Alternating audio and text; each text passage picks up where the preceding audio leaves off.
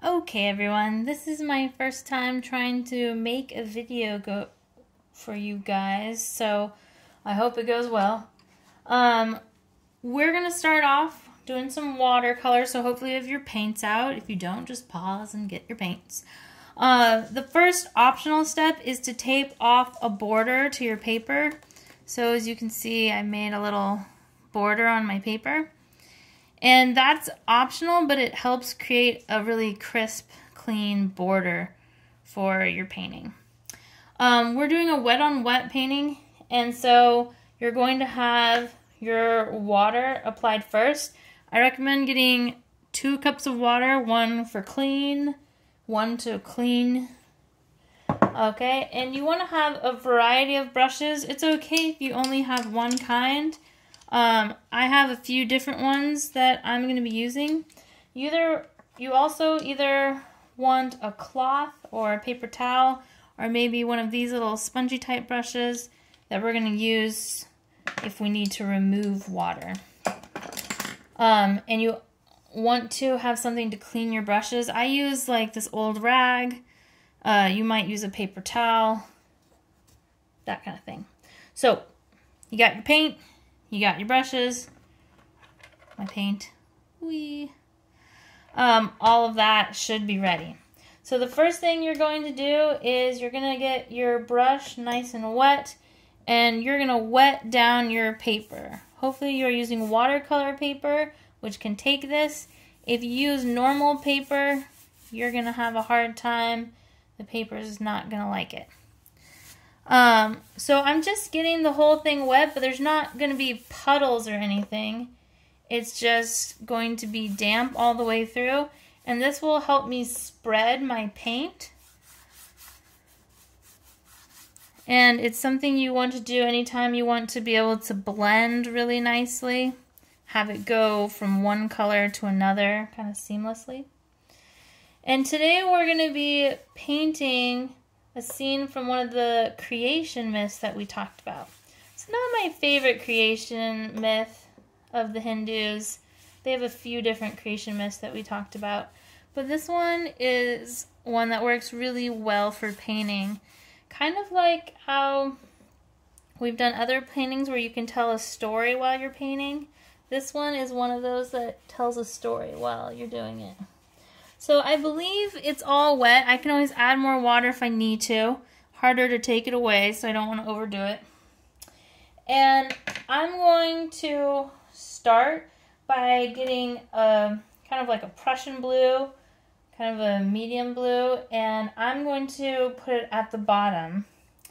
And the reason I'm doing this, as far as our story goes, is creation didn't start from nothing, it started from an ocean. It is an ocean of stars and water.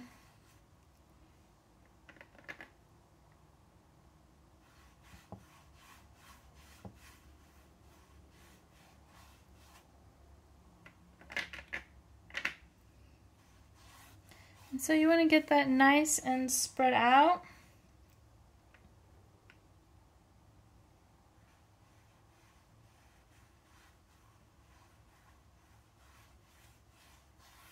I'm using a big brush for this, but any size brush will really do.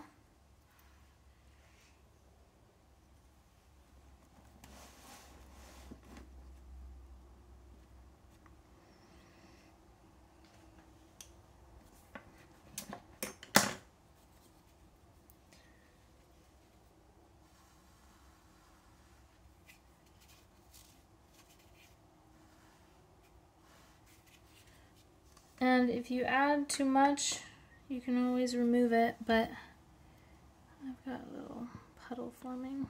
Let's get rid of that puddle. Okay. So I've got my blue spread out and I want to make sure it's nice and dark. I feel like mine needs to be a little bit darker because this is an ocean, right? And if this is a cosmic ocean, I imagine it kind of like the night sky. It can be pretty dark sometimes. So I'm going to add some darkness.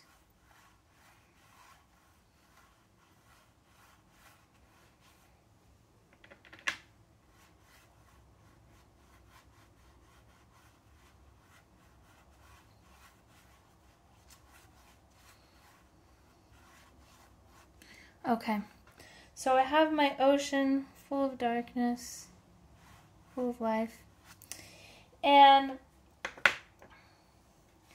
I want to make it look like there are waves. Because remember when that om sound comes, the water gets tumultuous. So I want to create these waves. One strategy you can use is you can lift out some of the paint with either a dry brush or a paper towel or that kind of thing. So I'm going to try and do it, I think, with the dry brush first. And so I'm going to lift out some of that paint and I'm going to dry the brush in between lifting. So I'm lifting out the waves and it's going to create that foam that you see on the ocean as the waves are crashing. It's not a straight line because think about the ocean that you've seen. It's not going to be straight. It's going to be crashing waves. And so I'm doing little flicks and taking out that water and in between I'm drying off my brush.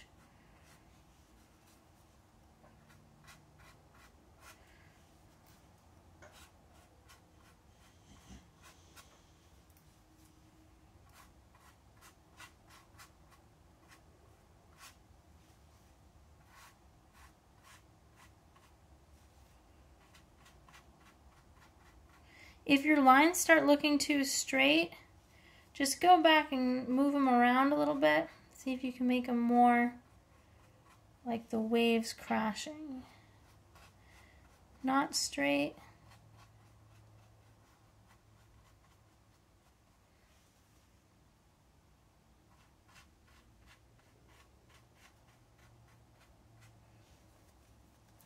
So there's my waves crashing.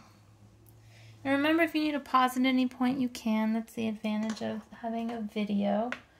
Um, I'm going to make sure that the next brush I use is nice and clean.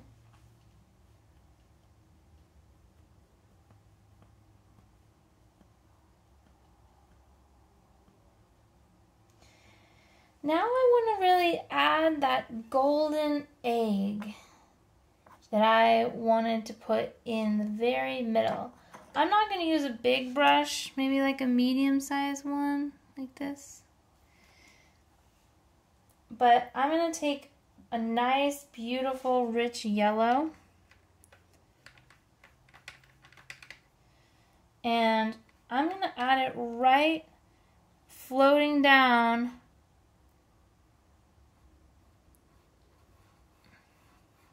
into my scene here. So it's like floating from the sky.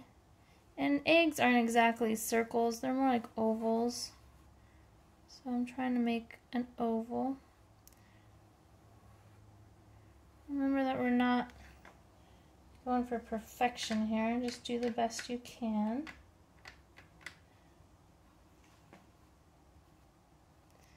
Going to go back and forth, give it this eggish quality.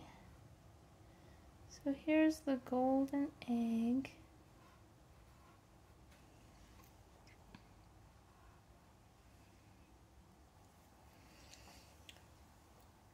So this egg, which is called the Brahmanda, Brahma, remember, is creator, the creator god, and then Anda means egg.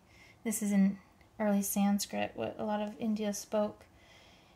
And this creator egg that was floating over the cosmos, when it heard that om, it decided it was time to crack open. And so, we're going to crack this egg open and use a little just water, clean water on your brush, and start spreading it out.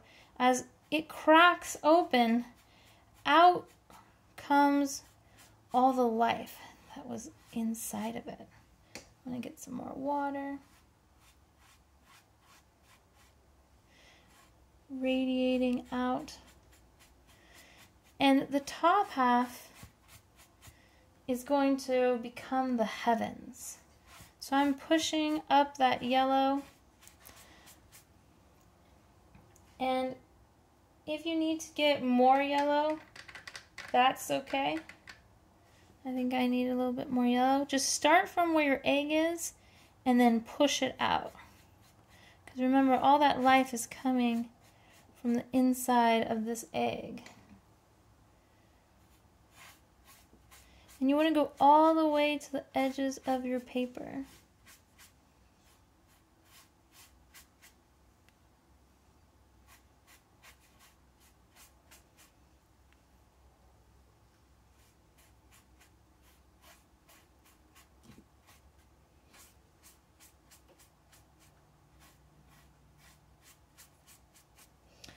So we have this Brahmanda opening up, spilling the top half of it into the heavens. This is going to go all the way to the edge of your paper.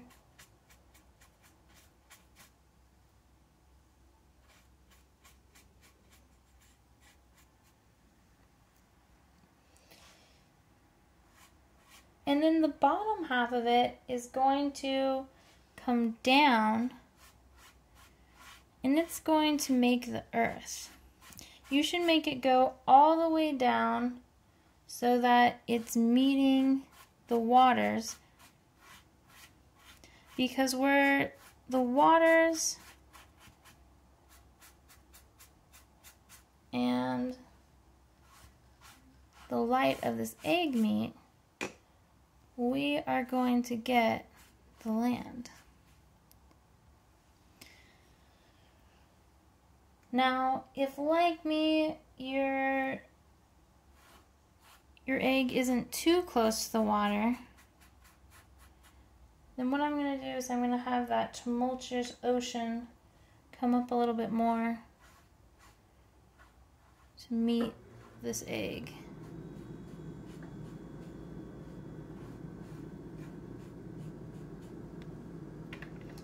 I'm going to do that by adding some more blue.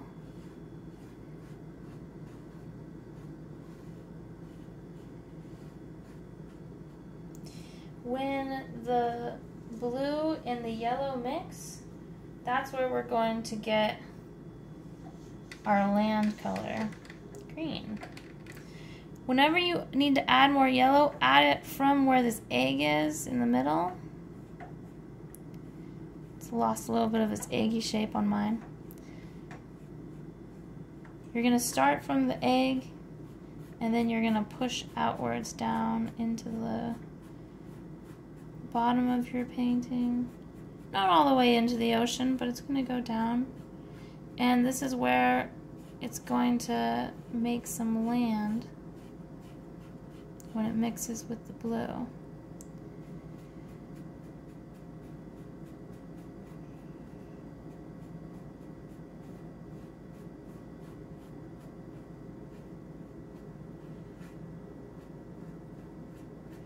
And it's okay if it's not going to be even, because if this is a coastline of Earth, it's not going to be perfectly even all the way.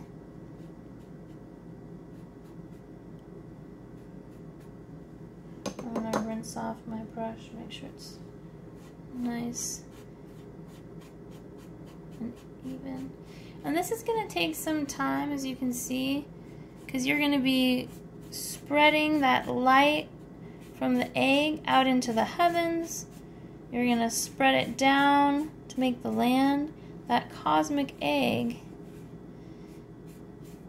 is going to be radiating in all directions. Because the top half is going to become your heavens. That part is called the Dyaus. And the bottom half is going to become the earth. That's called the Priti.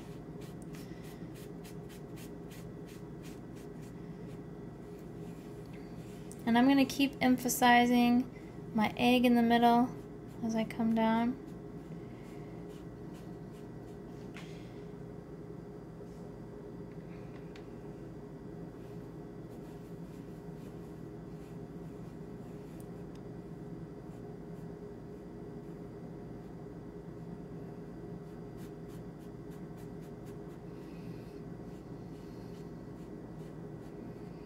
Now as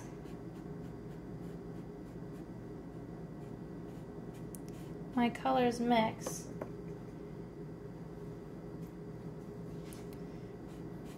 And I'm going to get more of that green on the bottom. I am welcome to go ahead and grab some green paint and start drawing the vegetation that's now growing. So I'm getting grasses, trees are starting to form.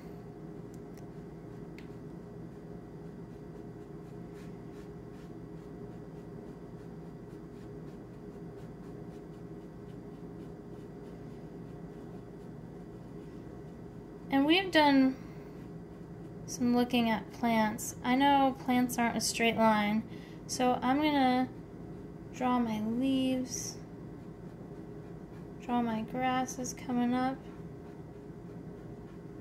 I'm not just going to go straight across. I've got my bushes starting to grow. And not all plants are the same. So I'm going to make sure to grab more than one green if I have that available to me.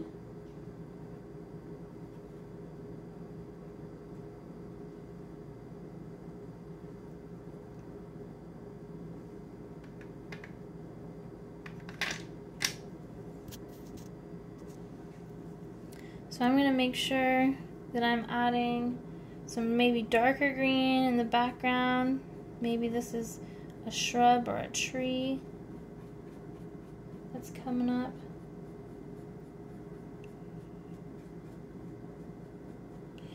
And if you don't have a darker green, you can always make a darker green.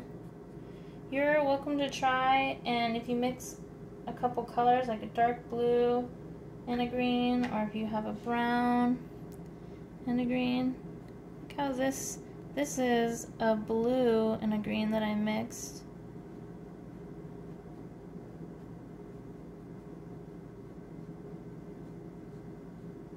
Now I think over here is a little bit watery for me, so I'm gonna take out a little bit of the water.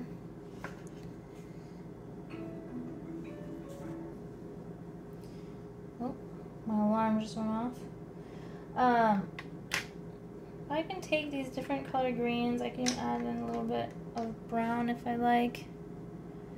And I'm going to add these darker trees in the background. Let's see if I can... Uh, that ended up a little bit darker than I'd like, so I'm taking a little bit of the color out. And I'm going to add some dark green.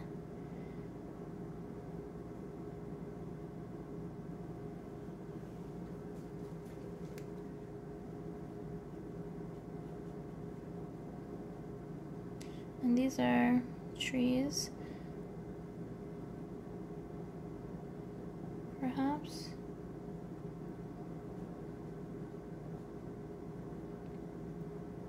that are growing. All this life is growing as earth has just been created. And I'm just dabbing my paintbrush to try and make kind of a leafiness.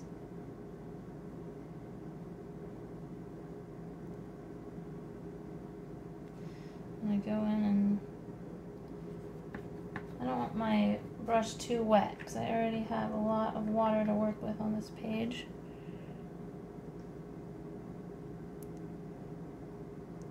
When I have a little bit less water, you can see it's a little bit darker.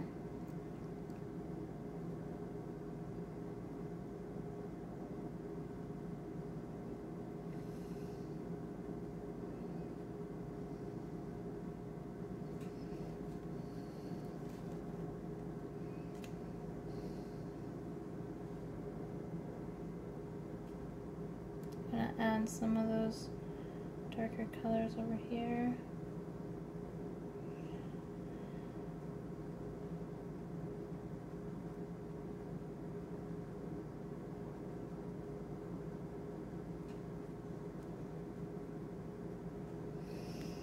And I most success by just kind of dabbing around.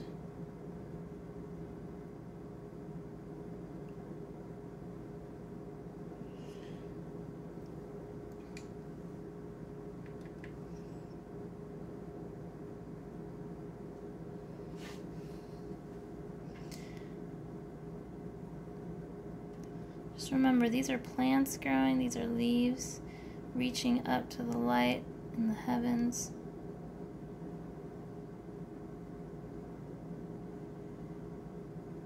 Is our earth.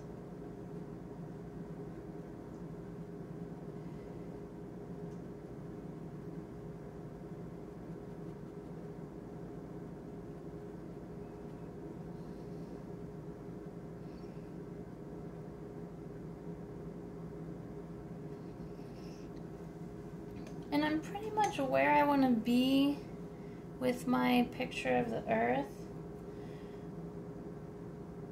I want to go back to this golden egg that I have though. I want to make sure that it's how I want it. And I want to finish adding a little bit of detail to the heavens because just as the light came down onto the plants making the earth. It's also reaching up into the heavens. And when if you've ever seen a beautiful sunset, you know that the heavens aren't just a wash of yellow. Think about the prettiest sunset you've ever seen. The prettiest sunset I've ever seen had some reds, some oranges, I'm going to add those kinds of colors to my picture. And so I'm going to come in with some oranges and I'm going to start just really lightly at first. I don't want to do something overwhelming. But I'm going to start adding a little bit of orange to my sunset. And It'll look like a lot if I just plop it down on one spot. But the key is having that wet on wet ability to blend it out. You don't have any harsh lines. That's what we're working on here.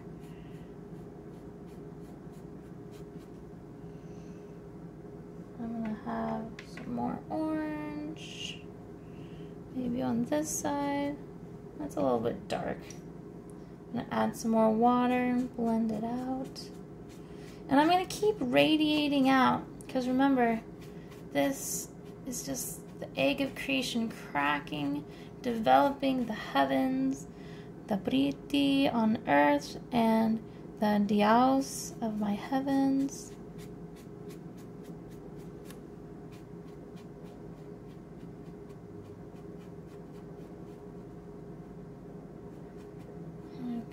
Careful as I touch my heavens to my earth. And you can kind of decide how much or how little of the red you want to incorporate. I'm adding a little bit more of this red. Well, before I was adding orange, and now I'm going to add some red. I don't want to go crazy with it, but I think it would look nice as these heavens start to develop like a beautiful sunset.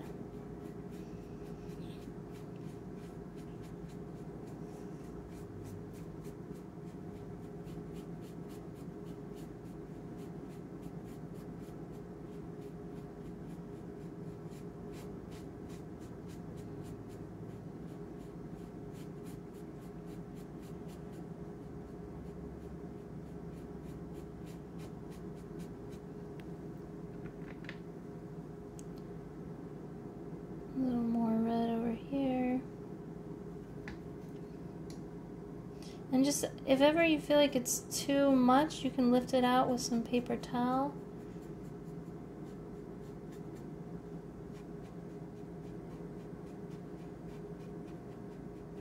And I don't want to spread it all around. I want it to have this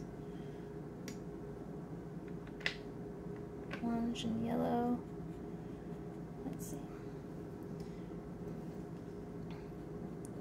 Just like we developed the land plants, we're developing our heavens like the most beautiful sunset.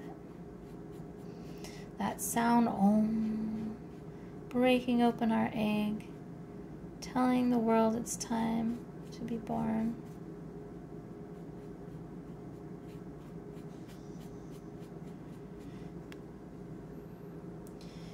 And I think to kind of finish off my picture, I'm going to go in for the last time with some more yellow. And I don't have to limit myself to one type of yellow. I'm going to actually grab a different type of yellow too, this mustardy yellow.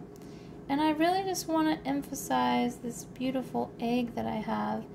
And I want to spread it one last time so that it's radiating out into my heavens. Those yellows and reds mixing. Make sure to dry off your brush when it gets too many colors on it. I don't want it to be muddy.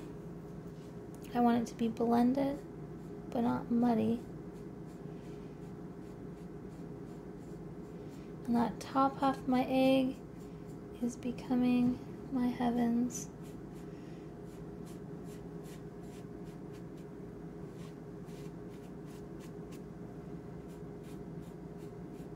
I dry it again. There we go. Whenever you feel like you need to, grab a little bit more yellow if you need to. I know my egg needs a little bit more form.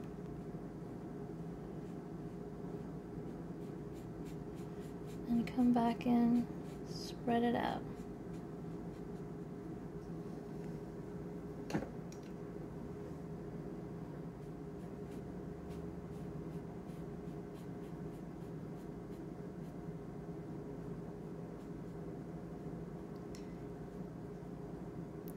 So Just adding kind of my finishing touches. I'm trying to make sure that that radiating light from my egg is going in all directions. And I'm just about finished here. So I'm going to post this video for you guys. If you have questions, you're welcome to jump onto today's optional Zoom or email me. And I hope that you guys really enjoyed painting this myth. And I will see you guys in just a second when we jump on the computer once more.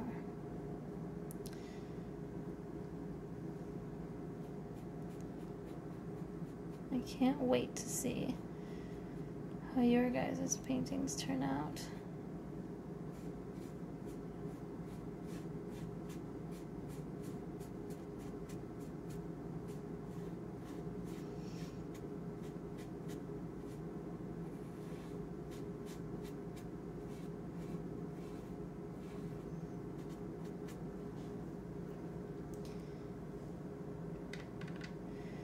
last step here for me is adding that egg back in one last time.